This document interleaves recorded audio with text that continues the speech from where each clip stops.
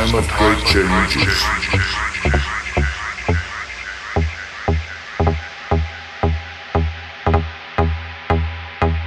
The world as we know it will be taken over by new subhumans.